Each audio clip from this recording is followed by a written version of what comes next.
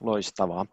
Eli tervetuloa tosiaan munkin puolesta tähän taloustasapainoon webinaariin. Ja mun nimi on Tommi Kuuppelomäki.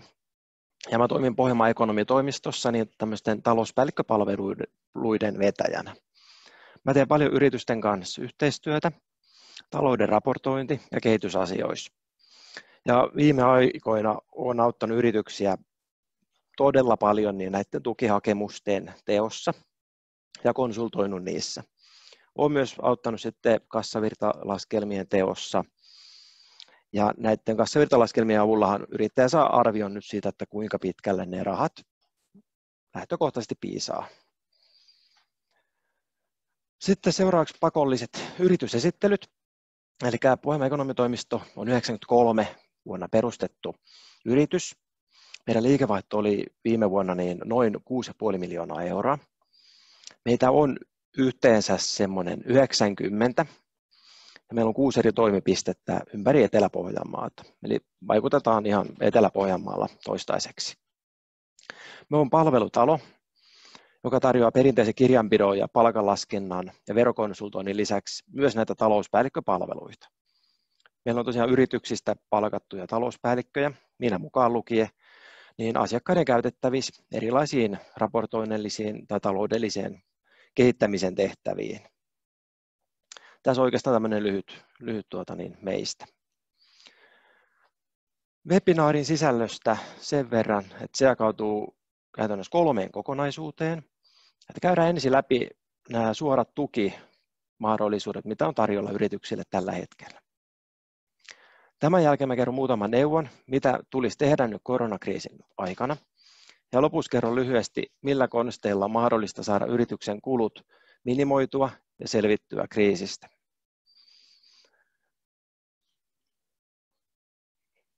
Käydään tiivistetysti läpi tosiaan nämä eri tukimuodot.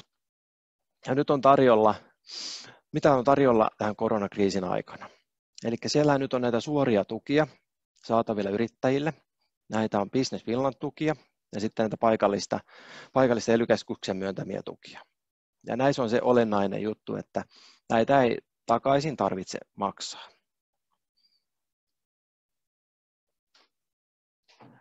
No mistä tätä tukea sitten voi saada? Niin, no tosiaan niin se suora tuki vaihtoehdot on tämä ely tai Business Finland. Ja pienet yritykset voi hakea sitten tosiaan sitä ely kautta sitä tukea.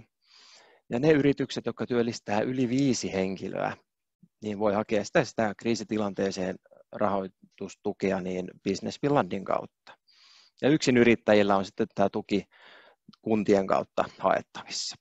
Ja tästä varmaan Intoseinellä on tarkempaa tietoa sitten.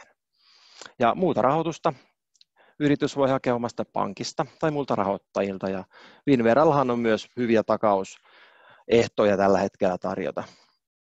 Et siellä on 80 prosentin tämä tota niin, tuki mukana.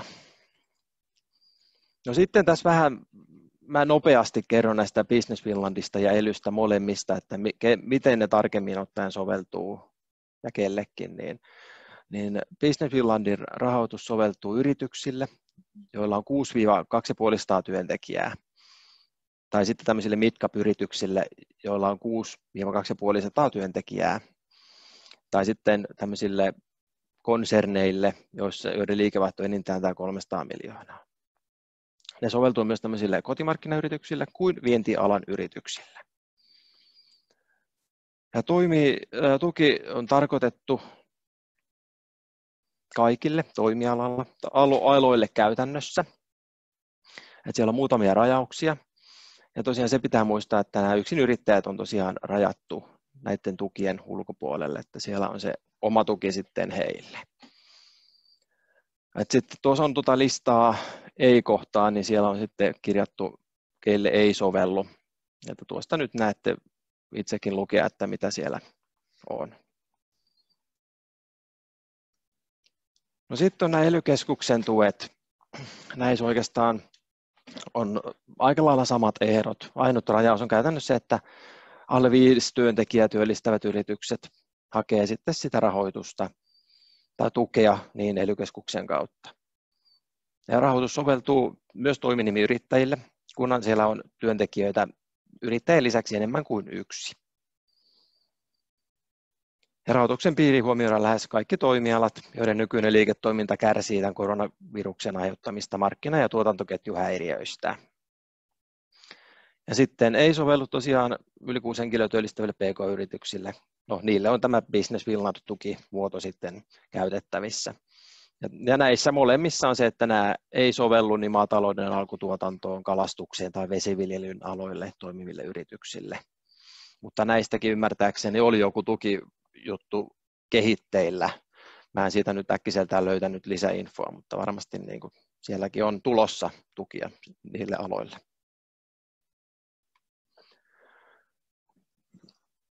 Sitten kuinka paljon sitä rahoitusta voi saada, niin Business Finlandin tuki ja tämä ely tuki, niin se jakautuu molemmissa niin kahteen eri osaa.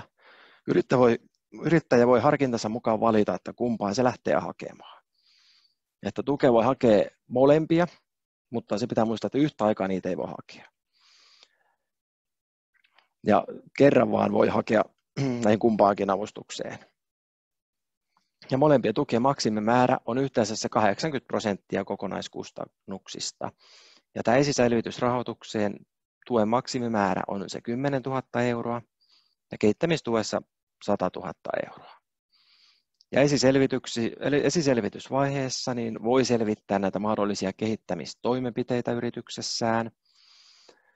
Ja kehittämisrahoituksessa yritys voi sitten toteuttaa niitä kehitystoimenpiteitä, joita se on tunnistanut tässä esiselvitysvaiheessa.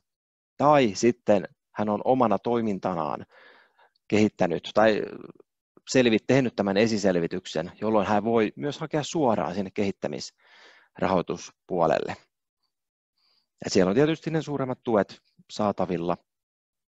Ja tässä on nyt tämmöinen taulukko, en tiedä näkyykö tämä mun hiiri sinne, mutta, mutta tästä näkee just, että jos se hakee sinne esiselvitysrahoitusta maksimissaan, siellä on koko tämä budjetti voi olla tämä 12 500, niin se tarkoittaa, että 80 prosenttia on sitä tukea, niin silloin se on se 10 000 euroa mahdollista saada Business Finlandilta, jos ne tuet ehdot täyttyvät ja sitten siellä ely Business Finland näkevät siinä potentiaalia. Eli nämä pitää olla tämmöisiä kehitysasioita, että pitää kehittää uusia palveluita, uusia tuotteita tai, tai muuten tuota, jotain toimintahäiriöitä on havaittavissa siinä liiketoiminnassa, niin niihin tämmöisiä uusia ratkaisuja. Esimerkkinä on vaikka mainittako, että tuossa oli yhdelle tein hakemuksen, niin heillä oli ulkomailta paljon hankintaa, Kiinasta ja Italiasta, niin siellä oli toimintaketju häiriintynyt aika olennaisesti, niin ne lähti nyt sitä kehittelemään ja suunnittelemaan, että miten me saataisiin sitä varmistettua, niin ne lähtee nyt kartoittamaan tilannetta, että jos Suomessa niin olisi mahdollisuus alihankkijoiden avustuksella niin valmistaa näitä heidän tarvitsemiaan niin materiaaleja. Mutta sitten tuossa on tuo eilistä, niin tätä tukea ei voi käyttää hyväksi niin investointeihin, ei verkkokaupan tekniseen pystyttämiseen, mutta se täytyy huomioida, että verkkokaupassa justiin, että se suunnitteluhan on hyväksyttävä. Että jos sä lähdet niin kehittämään tai suunnittelemaan sen verkkokaupan käyttöönottoa tai kehittämään jo no, olemassa olevaa verkkokauppaa, niin se on mahdollista, mutta mikään tämmöinen tekninen, konkreettinen teko, niin se ei ole ehtojen mukaista. Samoin on markkinointi, suorat markkinointikulut, niin ne on rajattu pois tästä kokonaisuudesta. Tässä oli oikeastaan lyhykäisyydestään tämä hyvin lyhyesti niin esitetty nämä tukijutut. Et sitten oikeastaan niin mennään seuraavaan kohtaan, että mitä yrityksen tulisi tehdä kriisin aikana. Niin ensimmäisenä mä itse ainakin lähtisin, jos ette ole nyt vielä tehneet sitä ja tämä kriisi on nyt päällä teidän yrityksen toiminnassa, niin hakekaa lainoihin lyhennysvapaata. Niinä nyt on jopa sitä kuutta kuukautta saatavilla ja niitä on mitä nyt ymmärtänyt, niin ihan netissä lomakkeilla täytettyjä ja niissä on aika lailla hyviä päätöksiä tullut. Niin helpottaa siihen akuuttiin kassakriisiin. No toiseksi, että pysy erossa pikavipeistä. Aina. Tämä on mun ajatus tämä, että älä koskaan, jos on mahdollista, niin koske pikavippeihin, että siinä on korkeat korot ja niissä helposti voi joutua ongelmiin niiden kanssa. Ja sitten, että älä jätä laskuja maksamatta. Että jos se maksuvalmius kriisiytyy, niin toimi jo ennen kuin se lasku eräpäivä tulee. Että ole yhteydessä sinne toimittajaan, sinne, mistä se lasku on tullut, ja keskustele siitä eräpäivän vaikka siirtämisestä tai maksusuunnitelmasta. Ja maksamattomia laskuja ei saa jättää pöytälaatikkoon kasvattamaan viivästyskorkoja. Ja tosiaan niin maksumerkintöjä niin tulisi välttää loppuun asti, että se sitten tulee näkymään siinä liiketoiminnassa sitten myöhemmässä vaiheessa. No sitten tämä ennakkovero, niin hae siihen muutosta, jos sulla on häiriöitä näkyvissä sun liiketoiminnassa. Että jos ne tulot ja kulut ei vastaa arviota, niin ennakkoveroon kannattaa hakea nyt muutosta. Et siinä sun oma kirjanpitäjä osaa varmasti sua auttaa parhaiten. No sitten niin tuloslaskelma ja päivitys niin suosittelisin, että tekisitte eri skenaarioilla erilaisia näkemyksiä siitä omasta liiketoiminnasta. Että, että tota, jos se liikevaihto esimerkiksi laskisi 30 prosenttia nykytilanteesta, että minkälaiset edellytykset mulla on pyörittää sitä mun nykyistä toimintaa. Esimerkiksi tilitoimistoilta on mahdollista tähän saada konsultointiapua. No sitten on tämmöinen, että tuotanto- ja kauppasopimusten läpikäynti, niin käy ne läpitte, että monissa, monestihan niissä sopimuksissa on ehtoja muun muassa kaupankäynnin tyrehtymisestä. Voidaan neuvotella muun muassa myyntisaamisten, ostovelkojen maksuehdoista. Ja sitten se aika olennainen, niin kassavirtalaskelman työstö. Niin tee sellainen. Ja jos on sen kanssa haasteita, niin ota vaikka minuun yhteyttä, niin pystyn siinä konsultoimaan, mutta noista löytyy aika hyviä pohjia tuolta ihan netistä, kun lähtee googlettamaan. Että kassavirtalaskelmaan stahan sä pystyt näkemään, että mihinkä ne sun kassavarat tällä hetkellä piisaisivat. Et siinä otetaan huomioon myyntisaamisia ja ostovelkoja ja lainan lyhennyksiä ja palkkoja, alvien maksua yömässä, että tämmöisiä asioita että se on mahdollista, kannattaa tehdä mahdollisimman tarkalla tasolla, esimerkiksi ja viikkotasolla, jos vain mahdollista. No sitten, miten saada kulut minimiin ja riittävästi käyttöpääomaa? No jos ei ole töitä tarjolla sun työntekijälle, niin aloita ne lomautukset nyt välittömästi. Tässä on olennaista tiedostaa, että yrityksen työtilanne ja reagoida työvähyyteen niin riittävän ajoissa, eikä miettiä aina sinne tulevaisuuteen, vähän eteenpäin. Pyri myös minimoimaan kiinteät kustannukset.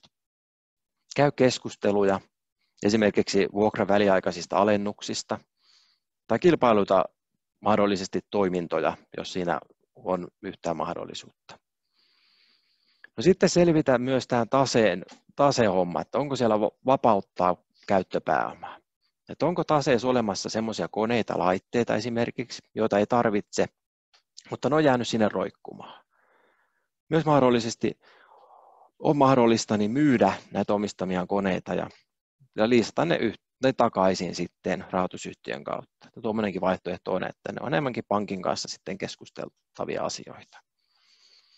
Ja sitten tietysti, että ottaa pankkiin yhteyttä, jos se käyttöpääoma alkaa olemaan, että siellä ei ole pelivaraa, niin ota yhteyttä ja hae sitä rahoitusta. No sitten on nämä eläkevakuutusyhtiöiden takaisinlainaukset että näissä voi, käyt, näissä voi tosiaan käyttää vakuutena niin esimerkiksi pankkitakauksia tai Vinveraa. Niin näissä kannattaa olla eläkeyhtiöön yhteyksissä, jos tuollaisia harkitsee. Ja yksi vaihtoehto on tietysti nämä yrittäjän henkilökohtaiset panostukset. Ne voi olla rahallisia sijoituksia tai sitten ihan omasta palkkatasosta tinkimistä. Että tämmöiset neuvot no ainakin itsellä tuli mieleen ja neuvottele rohkeasti maksujärjestelyistä ja kaikista hinnanalennuksista, tilapäistä hinnanalennuksista. Kaikilla niin toiminnoissa, mitä sulla on.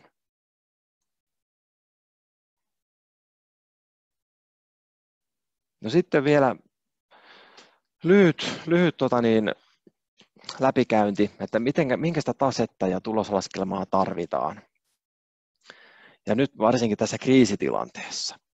Että taseen puolella, siellähän on yrityksen varat ja velat, ja ne tulee kriisitilanteessa käydä tarkasti nyt läpi. Käy läpi, että onko siellä sitä omaisuutta, jota et tarvitse, ja jonka voisi myydä. Käy läpi varasto, ja realisoi sitä tarvittaessa, jos siellä on realisoitavaa. Ja myyntisaamisten osalta niin tee soittokierrokset ja kotiut on erääntyneet. Että puhelin käteen ja jos siellä on, joillakin saattaa olla pitkää listaa siellä erääntyneitä, ne on siellä roikkunut, niin ota, ota puhelin käteen ja lähde niitä, niistä keskustelemaan, että josko niistä saisi suoritteita.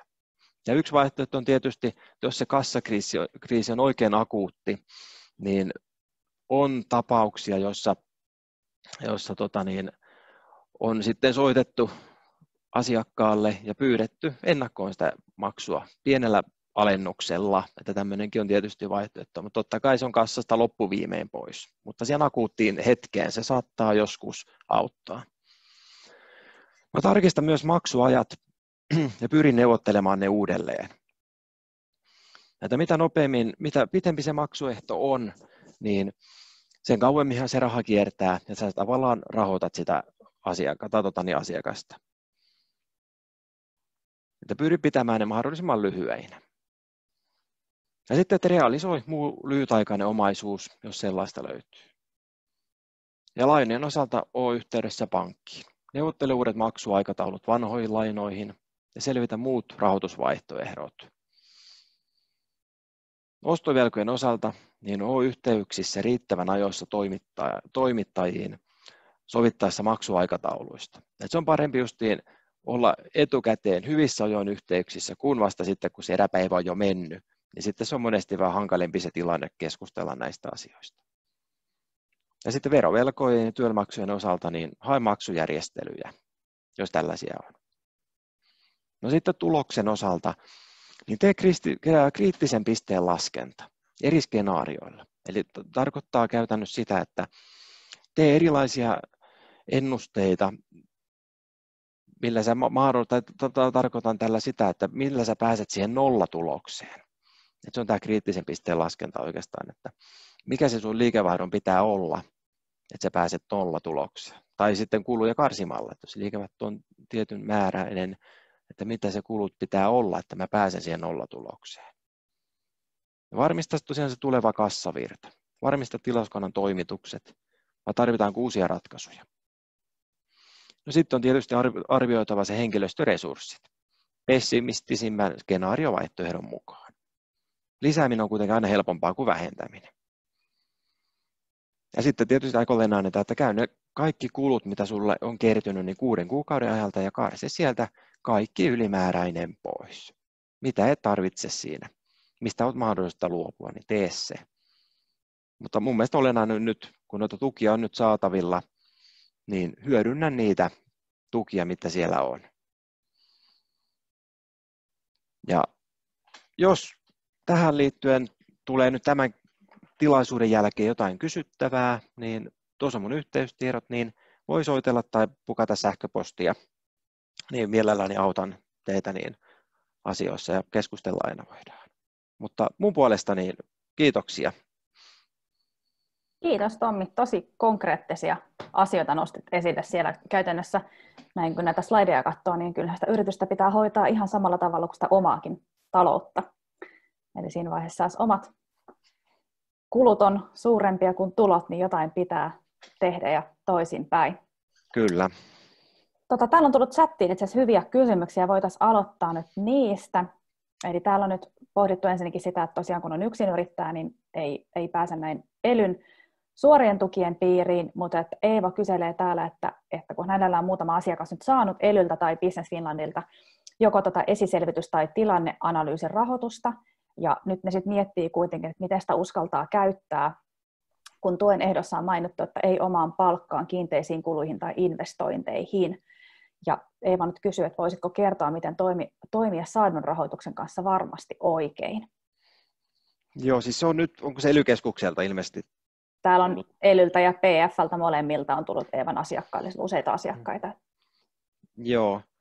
Joo, kyllähän siellä palkat on mahdollista huomioida. Että sehän on käytännössä justiin ely niin esimerkiksi tämä suunnittelutuki tai esiselvitysrahoitus, niin sehän on täyttää käytännössä palkkatukea. Et mm. siellähän on laskennallinen palkka 2000 euroa per henkilö, jonka, ne, jonka saa niin kuin kerran kuukaudesta, yhteensä kerran. Et jos ajatellaan, että sulla on kolme työntekijää, niin siinä het- tällä hetkellä töissä ja sä oot saanut sitä päätöksen, niin sieltä, sieltä tulisi se 6000 euroa ja sitten siihen saa välillisiä kuluja lisättyä niin puolet siitä.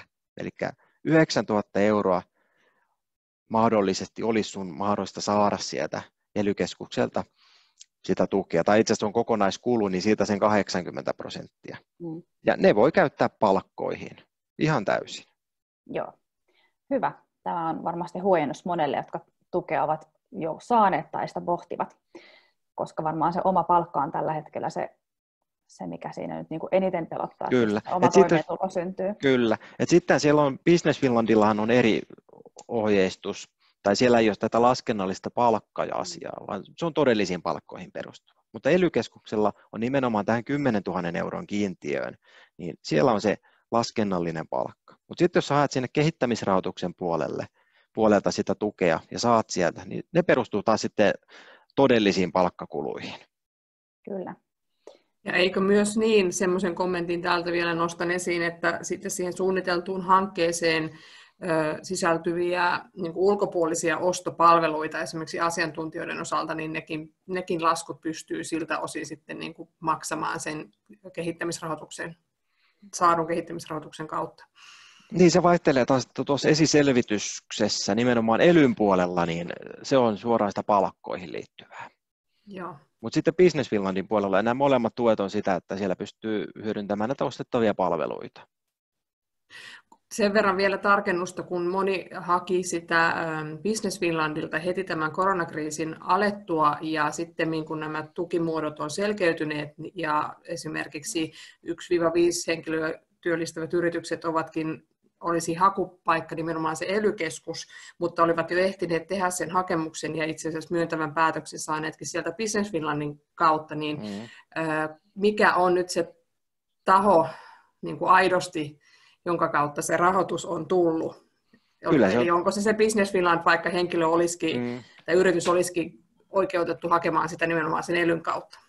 Kyllä, se on, se on sieltä, mistä sä oot sen ensimmäisen kerran hakenut ja sä oot sen päätöksen saanut. Eli siellähän oli alkuun, oliko se nyt viikon verran, Kyllä. vai verran, niin kaikki tuet haettiin sieltä Business Finlandin kautta. Joo. Ja sen jälkeen se rajaus sitten tehtiin, että ely tuli siihen mukaan sitten, ja sinne rajattiin sitten nämä pienemmät yritykset sitten sinne puolelle. Yes. Kyllä. No sitten on Kirsti nosti esiin tosi ajankohtaisen asian, mikä koskettaa lukuisia yksinyrittäjiä, joilla vielä verkkokauppaa joko ei ole tai sitä parhaillaan työstävät, että niin kuin Kirstillekin verkkokauppa on auennut, mutta siihen tarvittaisiin paljon apua. Varmaan tarvitaan apua myös siihen tekniseen toteuttamiseen, eli käytännön konkreettista apua, että miten se verkkokauppa saadaan teknisesti toimivaksi ja miten sitä osataan markkinoida hyvin. Ja kuitenkaan ei välttämättä ole mahdollista ostaa sitä palvelua nyt markkinoilta, niin tätä, näitä tukia jos miettii elyäkin, niin jos olisi sitä hakenut, niin ei ilmeisesti ole mahdollista kuitenkaan tämmöiseen tekniseen ei. toimintaan käyttää.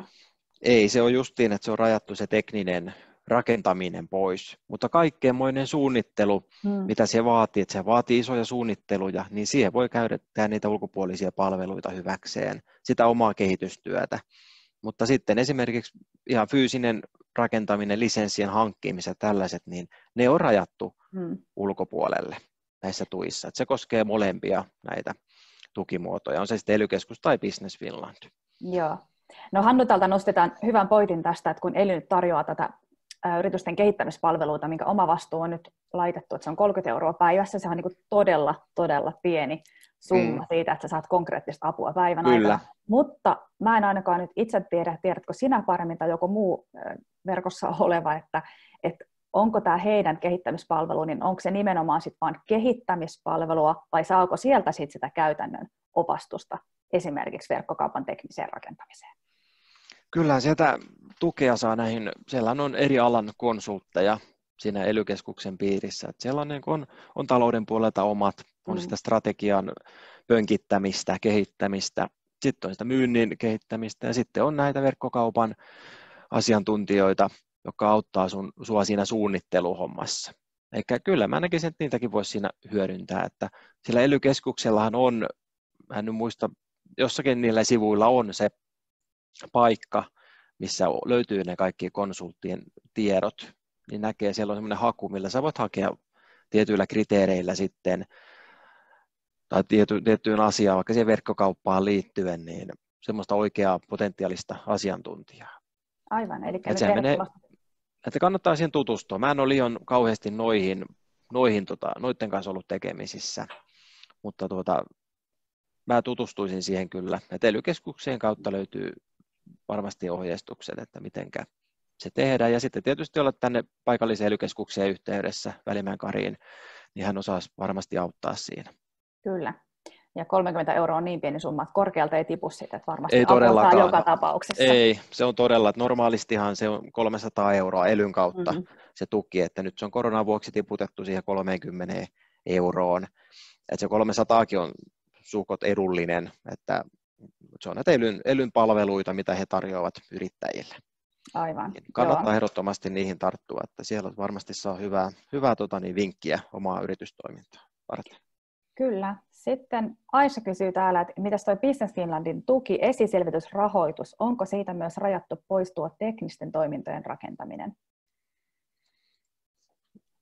Puhutaanko me sitä verkkokaupasta nimenomaan? Ilmeisesti, sitten? joo. Joo, että kyllä, kyllä. kyllä. Valitettavasti koskee näinkin. Mm. Merja kysyy, tai toteaa, että heillä on verkkokauppa retuperällä, puuttuu oleellisimmat tuotteet. Pystyykö tätä tukea käyttämään henkilöön, joka hoitaisi kuvaukset ja sisällön verkkokauppaan? Ja jos, niin mistä sitä tukea voisi hakea? Eli käytännössä sit se on niin kuin mm. ostopalveluna. Niin, se on ostopalvelu, että, ja se olisi sen nykyisen verkkokaupan kehittämistä. Mm. Niin varmaan jossain määrin kyllä, että pitäisi tarkemmin nyt katsoa niitä ehtoja siitä verkkokaupasta. Se on aika laajat ohjeet tuonne Business Finlandin sivuille laitettu siitä verkkokaupasta, että mitä hyväksytään, mitä ei, niin mm. meilläkin pitäisi sieltä käydä katsomassa, että mitä rajauksia siinä nyt on. Ja, ja se täytyy muistaa, että noissa on aika paljon tullut muutoksia tässä nyt, että sanotaan ei ihan joka päivä, mutta lähes tulkoon, niin jotakin niiden sivuilla on päivittynyt asioita, että kun on asiat tarkentunut ja ihmiset on paljon hakenut tukia, niin on ehkä haluttu nyt tuoda ilmi sitten tiettyjä asioita, että ja tuotu infota asiakkaita, että eivät he turhaan sitten pohdin näitä, niin päivitetty sen takia paljon noita sivuja. Kyllä. Mutta periaatteessa se suunnittelu, kun se jää sinne suunnitteluasteelle, niin, niin sä voit käyttää niitä ulkopuolisia palveluita. Mm. Tämmöinen niin kuin rajavedon itse vetäisin siihen, mutta kannattaa ehkä käydä katsomassa siitä, että ja sitten jos kuka sitä kysyykin, niin voi vaikka mulle toimittaa oman sähköpostiosoitteen, niin mäkin voin sen katsoa tuossa sen linkin vaikka ja lähettää sen vaikka hänelle ja voidaan siitä keskustella. No niin, Aisha pistää Tommille sähköpostia, jos ei sitä itse sieltä löydä, mutta Business Finlandin nettisivulla on tosiaan tosi kattavasti tätä infoa, mutta just kuten Tommi sanoi, niin oikeastaan kaikissa näissä tukimuodoissa niin ne päivittyy, voi sanoa, että päivittäin, koska, koska myös siellä tuen antajien piirissä niin tilannekuva koko ajan selkeytyy siitä, että minkälaisia haasteita yrityksillä on ja totta kai he pyrkivät näihin parhaalla mahdollisella tavalla sitten vastata. Eeva kysyy, että Merja, onko sinulla työntekijöitä vai oletko yksinyrittäjä? Merja on yksinyrittäjä, kyllä, eli silloin olet oikeutettu siihen kuntien jakamaan yksinyrittäjätukeen, mikäli ne ehdot täyttyy. Eli kuntien yksinyrittäjätuen ehdothan ovat, että, että pitää se vähintään se 30 prosentin liikevaihdon alenema olla näytettävissä 16.3. jälkeisellä ajalla verrattuna tämän vuoden alkuvuoden kuukausittaisiin liikevaihtoihin. Ja monellahan on, joka laskutusta harjoittaa, niin ei välttämättä sitten vielä huhtikuussakaan tämä kirjan tuosta tiliotteelta toteudu, eli jos, jos kirjautuu sitten niitä ö, panoja sinne myöhemmin, niin sitten kannattaa ihan rauhassa odotella vaikka toukokuutakin valmistuvaa nähdään sitten varmasti se 30 prosentin alenema. Lisäksi pitää osoittaa kannattava liiketoiminta, eli edellisvuoden tilinpäätös laittaa sen hakemuksen liitteeksi ja verovelkatodistus. Mutta se on tosi näppärä, jos yksin yrittäjä on ja, ja tämä 30 prosenttia toteutuu, niin sitä ehdottomasti kannattaa hakea. Se raha ei lopu kesken. Se riittää varmasti kaikille, jotka muuten tämän tuen piiriin kuuluvat. Kyllä, ja itse voisi vielä tuohon lisätä, niin näissä muissa tukimuodoissa on toki sama juttu, että pitää osata esittää se, miten se koronakriisi on vaikuttanut siihen sun liiketoimintaan. Kyllä. Ja sitten tietysti se, että on edellytykset sen, siihen kannattavaan liiketoimintaan myös tulevaisuudessa. Juuri näin. Eli toiminta jatkuu ja koronakriisin Kyllä. jälkeen voidaan olettaa, että jatkuu normaalilla tavalla.